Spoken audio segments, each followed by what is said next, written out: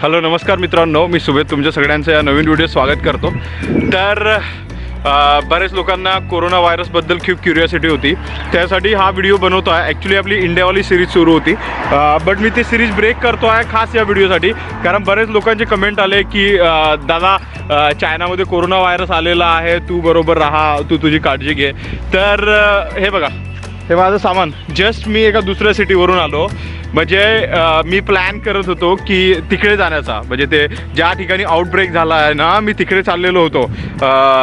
But इतक्या लोकांनी मला मेसेज केला माझ्या माझ्या वीचॅटवर की तुम्ही कृपया करून जाऊ नका म्हणून अशा बऱ्याच लोकांनी मेसेज केला. म्हणजे मी तिथून बेजिंग जाणार होतो आणि बेजिंगवरून मग मी तिकडे ते ग्लास ब्रिज वगैरे तो सगळा एरिया मी कवर करायसाठी घरून निघालेलो होतो. कारण इकडे चायनीज न्यू इयरच्या सुट्ट्या आहेत.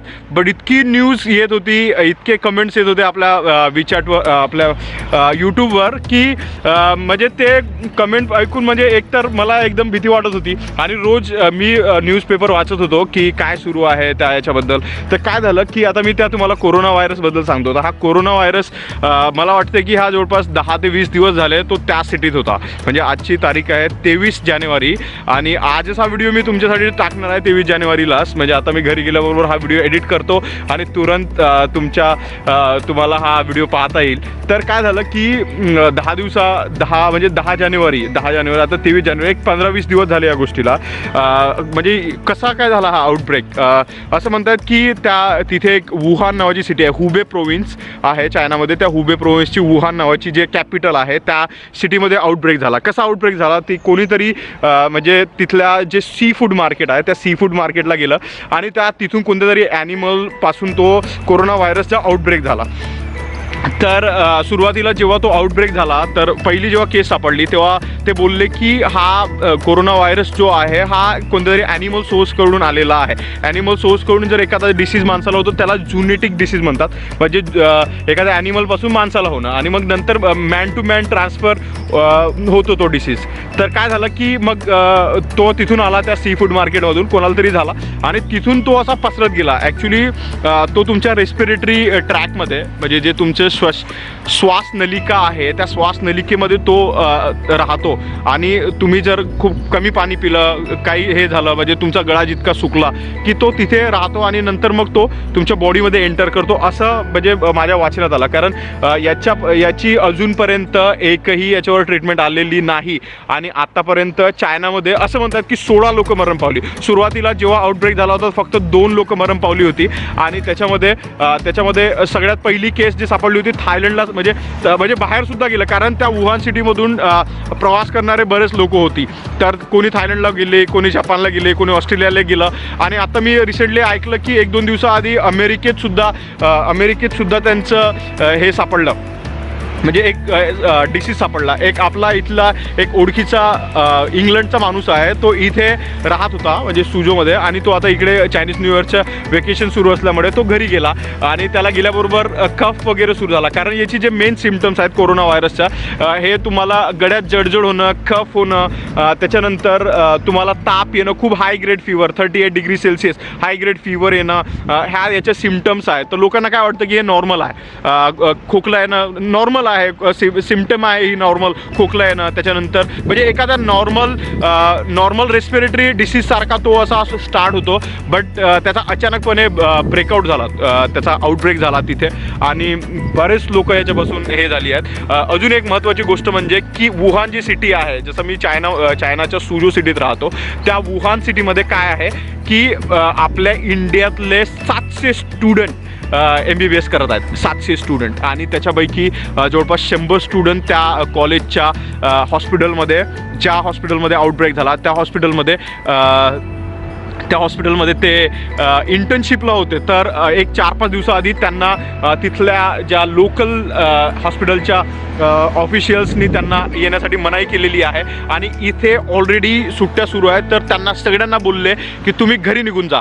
बट आजची जी न्यूज आहे तेवीस जानेवारीची की तेवीस जानेवारीच्या न्यूजवर असं म्हणतात की ते पूर्णच्या पूर्ण सिटी बंद करण्यात आलेली आहे.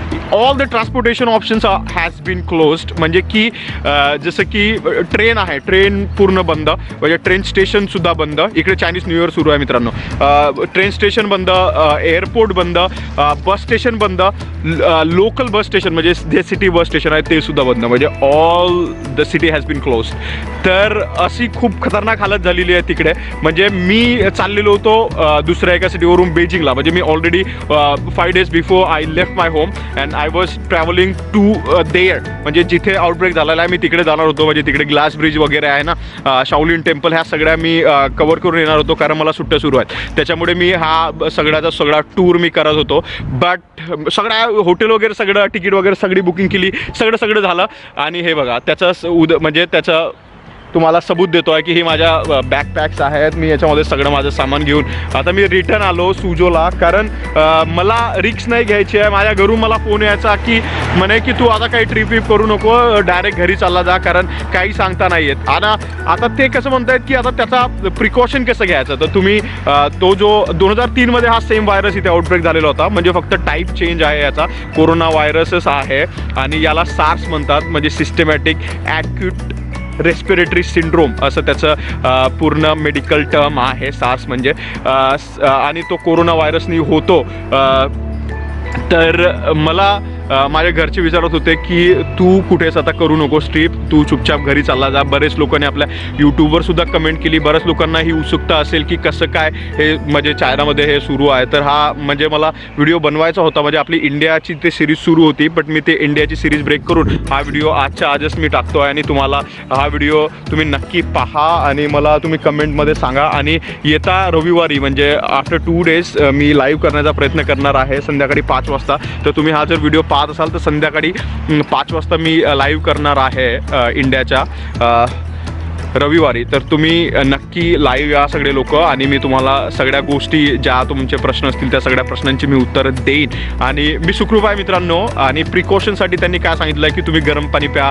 फ्रूट्स खा खूप सारे फ्राईड फूड खाऊ नका.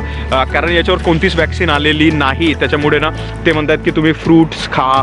त्यानंतर विटॅमिन सी ज्या ज्या फ्रूट्समध्ये सगळ्यात जास्त विटॅमिन सी असेल त्या त्या गोष्टी खा. असे ते लो- जो दोन हजार तीनमध्ये जेव्हा आउटब्रेक झाला होता त्या डॉक्टरनी जेव्हा या कोरोना व्हायरसबद्दल जो स्टडी होता त्याच्यावरून हे सांगितलेलं आहे. आणि मी फ्रूट्स खातो आहे. मी सगळा म्हणजे मला काही सिमटम्स नाही आहेत. मला फीवरसुद्धा नाही मला खोकलासुद्धा नाही आहे. मी जस्ट तिकडून बाहेरून आलो आहे. फक्त त्यांनी बोलले आहे की तुम्ही कुठूनही बाहेरून आले काही खायचं असेल त्याच्या आधी हात धुवायचा आहे तुम्हाला पंधरा वीस सेकंड चांगल्या प्रकारे. आणि नंतरच तुम्हाला जे कामं करायची असेल ते कामं करा. असं म्हणून त्यांनी सांगितलेलं आहे. तर हे सगळं होतं या कोरोना व्हायरसच्या बद्दलचं मित्रांनो.